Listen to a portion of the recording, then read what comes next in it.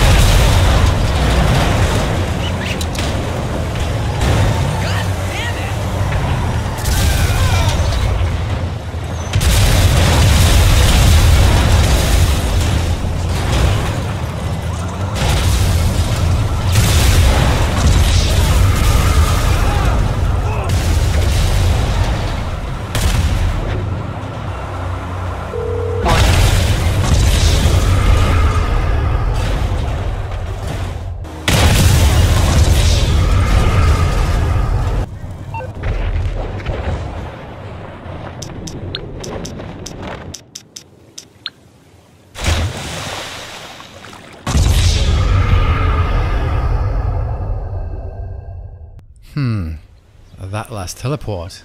That came in very handy actually. Because look who got in the same area as well. Yeah, why am I not surprised? But look who came directly into my line of fire.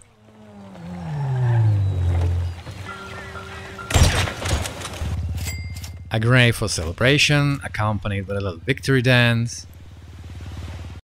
And of course let the player know that it was just all about the bounty. And to round it all off, I made a little outro for this video. Bounty Hunting by Tannenbaum. No bounties ever safe. In theaters and cinema now.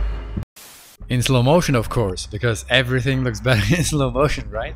Okay, that was it for today's video. As you can see, it's totally possible to play in a modded session and it can be fun and challenging at the same time, but also impossible to bear and extremely annoying too. It all depends on the current situation and how the session is going.